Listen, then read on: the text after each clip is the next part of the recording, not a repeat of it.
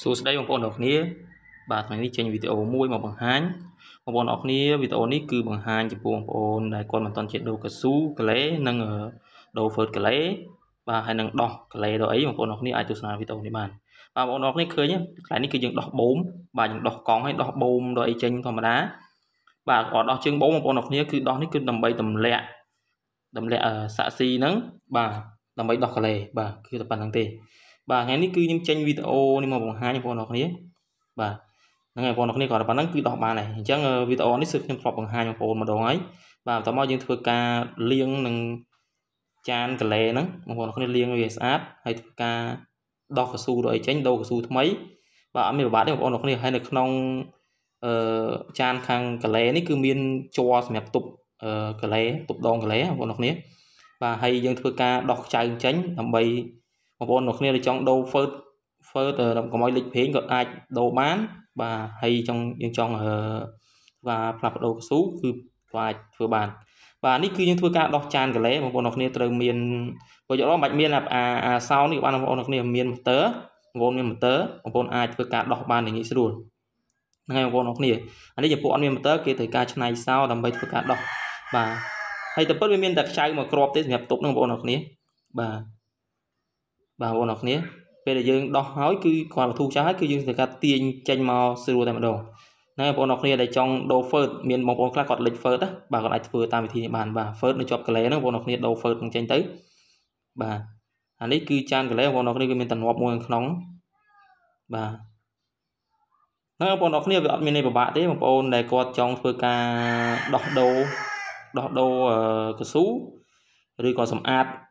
ខ្លាញ់គោសម្បត្តិអីហ្នឹងបងប្អូនអរគ្នាអាចធ្វើបានអត់មានពិបាកទេហ្នឹងបងប្អូនអរគ្នាហើយកស៊ូឬគឺជាប់នៅកលែហ្នឹងបងប្អូនអរគ្នាឃើញ first មិនកស៊ូ first បងប្អូនចង់មើលថាលិចលិចលិចបងប្អូនអាចបិទដោះ first នឹងបានបាទហើយនេះគឺគេដាក់កាយគឺខ្លាចលិចលិចចេញតាមខ្ចៅលិចពេញពេញកលែតាមខ្ចៅហ្នឹងបងប្អូនអរគ្នាយើងដាក់កាយបន្តិចទៅមិនបាច់ដាក់ក៏បានដែរបងប្អូនអរគ្នាវាមានអីជាធំដុំទេបាទ បាទបងប្អូនអរគ្នាដាក់ប៉ុណ្្នឹងទៅហើយយើងធ្វើការចាប់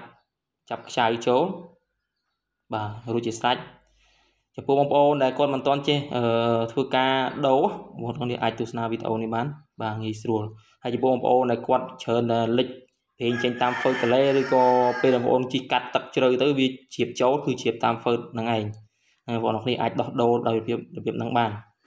បាទទិញតែ first មកយើងអាចដោះដូរតាមរបៀបហ្នឹងបាន បាទបន្តមកគឺយើងធ្វើការរឹតខ្ចៅទៅបាទរឹតខ្ចៅបញ្ជាប់ទៅហ្នឹងហើយបងប្អូនគ្នាហើយយើងធ្វើការអឺ